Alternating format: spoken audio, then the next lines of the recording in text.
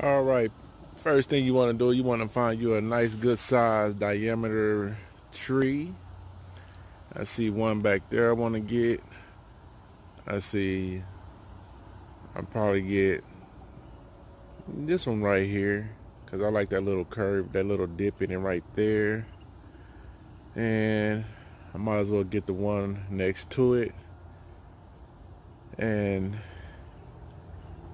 I'm gonna do those three just to start out with. And of course, you can hack them down with whatever you want to cut them with. But once we get them cut, it's all gonna be a hand job. You can cut them down with a handsaw if you want, but that ain't where the joy comes in at. The joy comes in when you do the craftsmanship with your hands. So I'm gonna go grab my pole saw, folks, and um, I'll be back.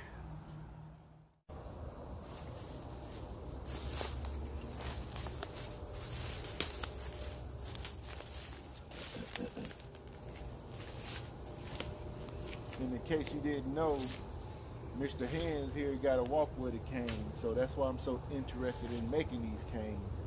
So let's get cutting our material. Start that since this is back.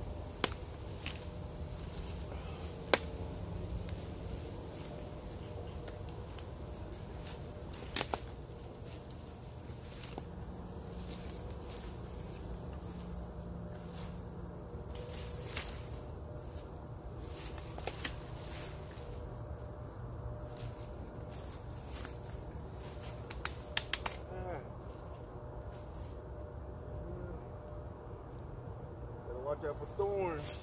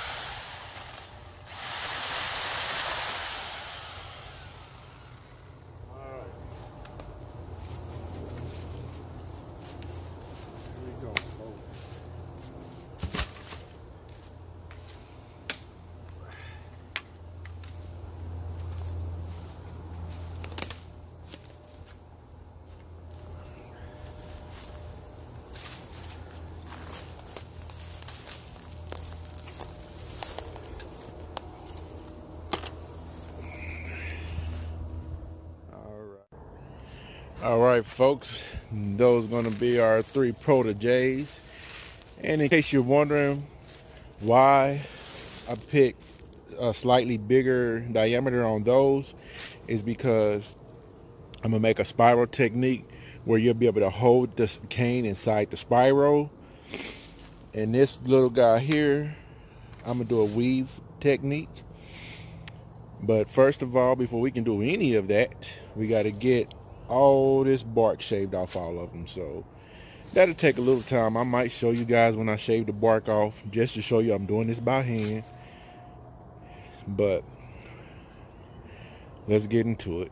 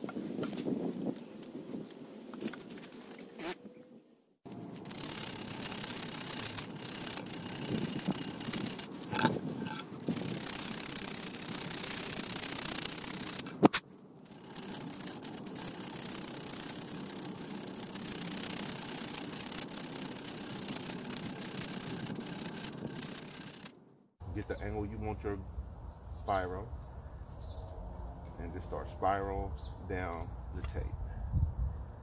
like so. And like I said, it doesn't have to be perfect as long as you got a nice little spiral.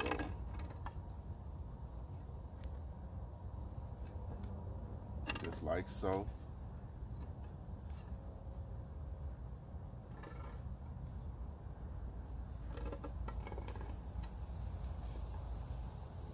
Do it for however long you want your spiral to be.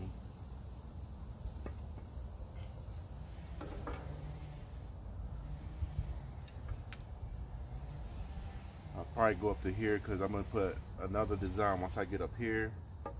But for the whole shank, it's going to be a spiral.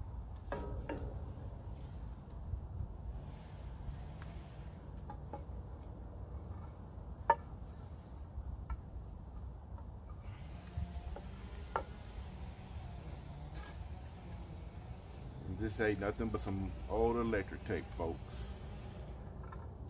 There's some old electric tape. And that's gonna be a good stopping point for me. There's something else is going there. And of course my handle here. And once you have that done, take your pencil and go around the outside of the tape.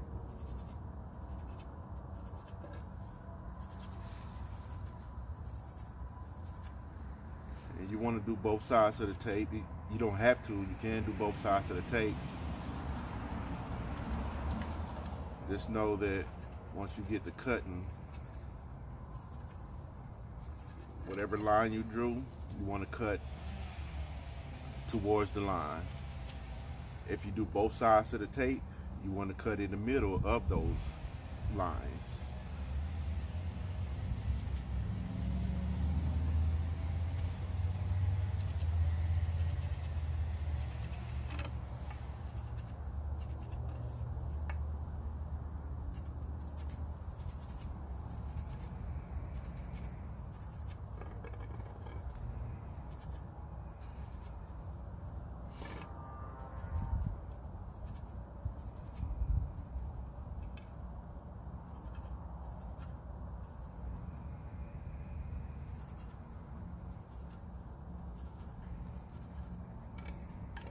Like I said, folks, this doesn't have to be perfect.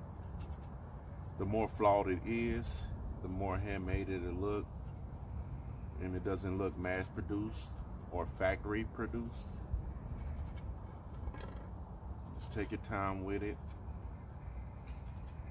And not only that, those flaws, those are your signatures. You'll be able to tell yours from anywhere even if somebody try to replicate it because nobody's going to replicate your same flaws. They might replicate the same design but they're not going to replicate your same flaws. So don't worry about making a mistake. You make one that's great. Keep going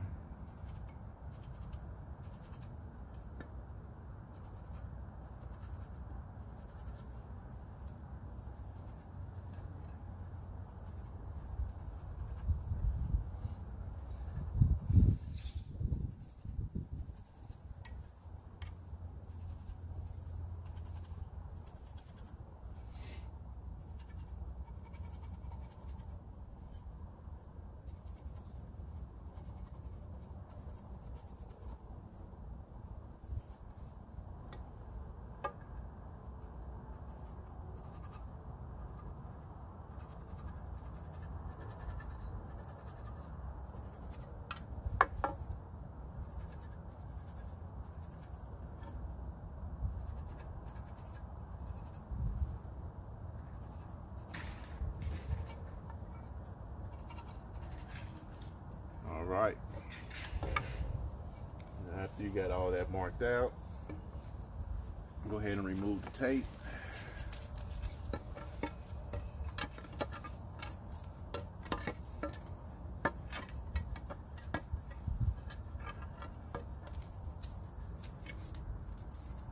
Go ahead and remove that tape and you're left with your nice little spiral. Now,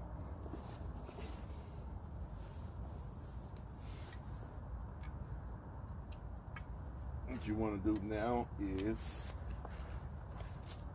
you're going to walk up, go up all the way up and down the cane, but it's going to take some time, folks, so don't rush this. You don't want to cut yourself, but you're going to start basically chiseling out a little V going towards your lines here. So just take your time with this, folks. You don't want to cut yourself. The harder your wood is, of course, the longer this is going to take. And the harder your wood is, the better your cane going to be. So I would suspect you guys got some good hardwood out there. I'm not a pro on what wood to find is not hard and what's not. I do know how to tell when the wood is hard that I find. But I just want you guys to be careful with this part here. Don't rush through this at all.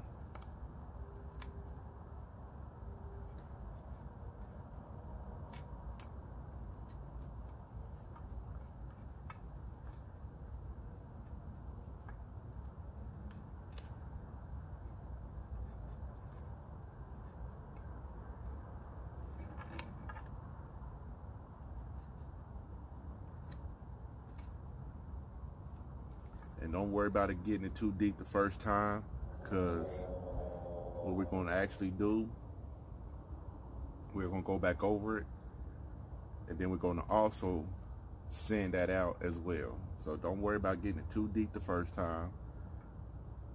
Just take your time. Make sure it's a nice day outside. Get you some music if you like. Listen to the nature get your favorite beverage and just sit back and enjoy whittling, folks. It's not a rush thing. It's all about relaxing and enjoying. Because you can't rush relaxing, right? you can't rush relaxing. So just remember, this is a relaxing thing. Just take your time and enjoy. Before you know it, you're going to be finishing, you're going to be starting a new project.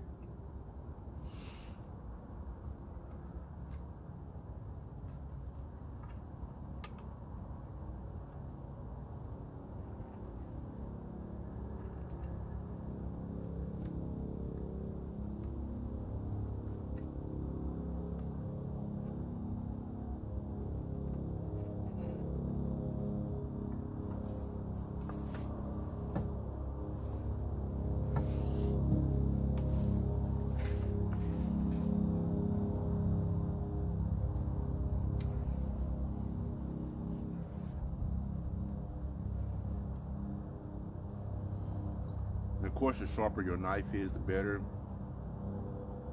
They actually do make carving knives, but I'm old school. I do everything old school from pocket. I got a pocket knife here. This is something my grandfather, my great grandfather would have used before they started making special tools for carving. It was all done by his own little pocket knife. And this is what I'm going to do, and that's what I'm teaching you guys to do. You can buy your own special tools if you want. The only special thing I'm gonna use here is probably sandpaper. And I'm not sure if that's old, um, really considered new. I think they had sandpaper back then, but I will be using sandpaper at the end and I'm gonna stain and finish this as well.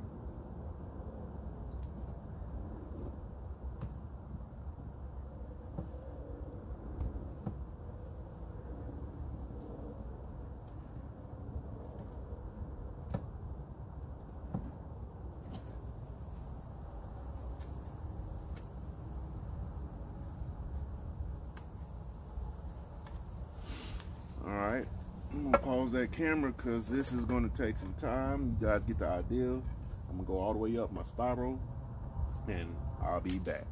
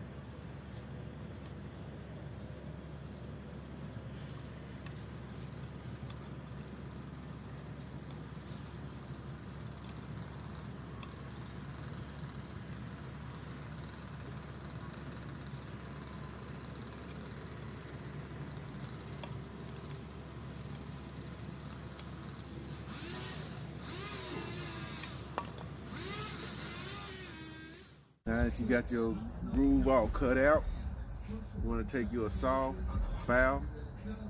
You can use a file like this that's rounded, or you can just simply wrap you some sandpaper around a pencil or a stick, something that's round, so you can start your groove.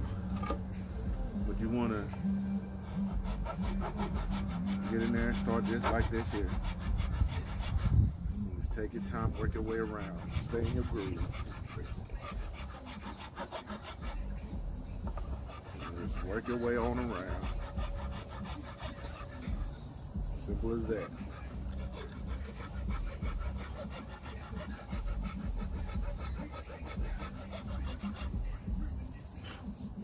Simple as that, folks.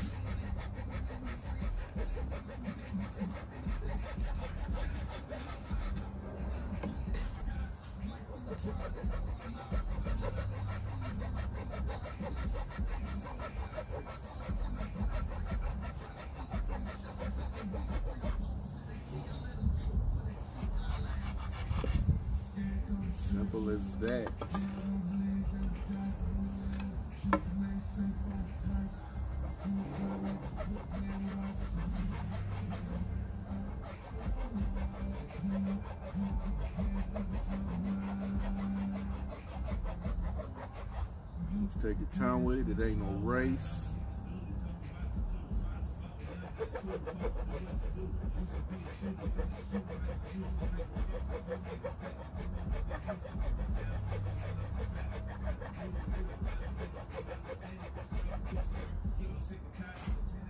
Simple as that.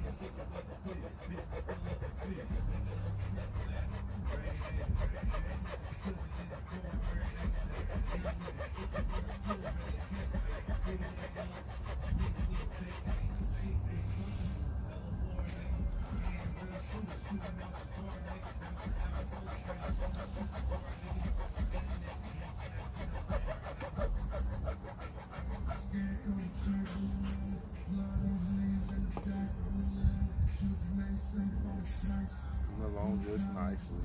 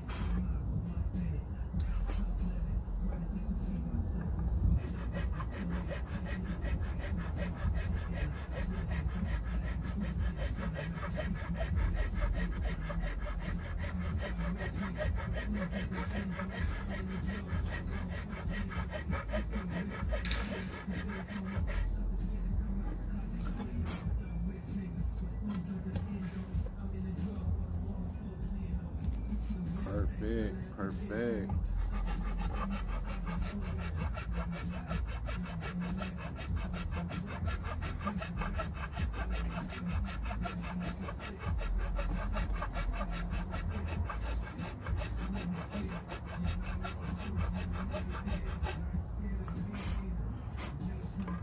Oh yeah. Oh yeah.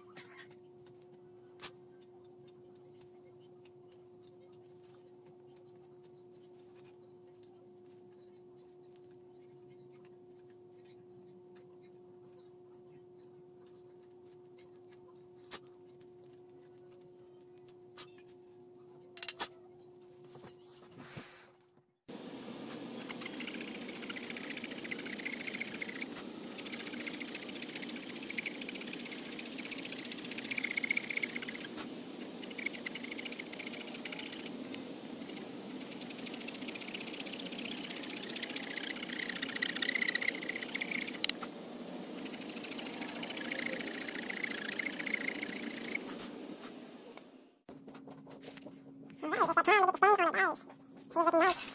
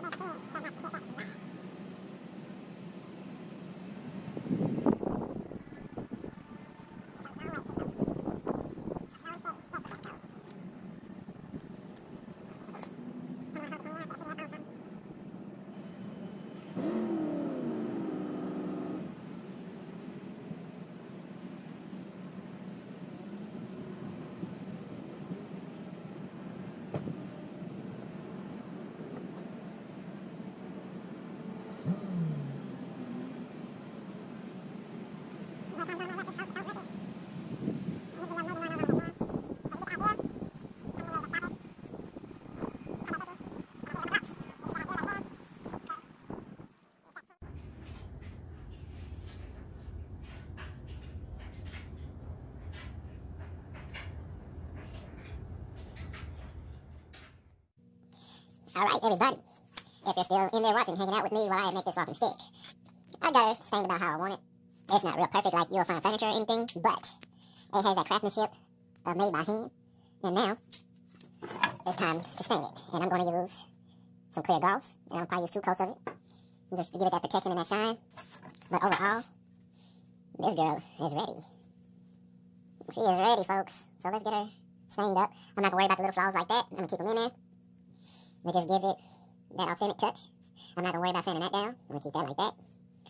And just go ahead and get her stained. I mean, sorry, let's go ahead and get her glossed up and finished and ready to roll. So, here we go.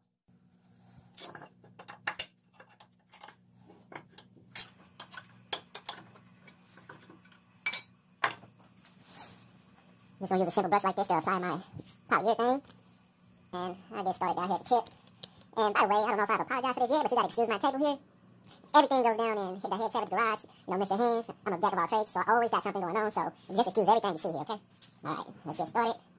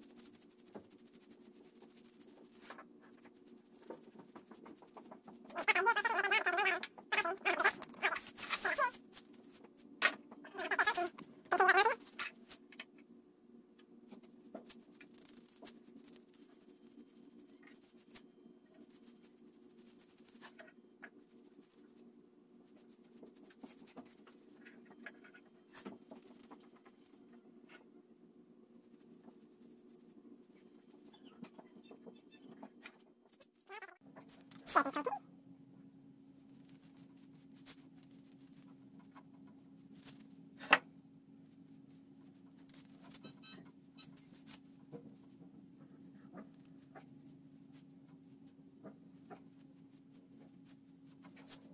There's my new back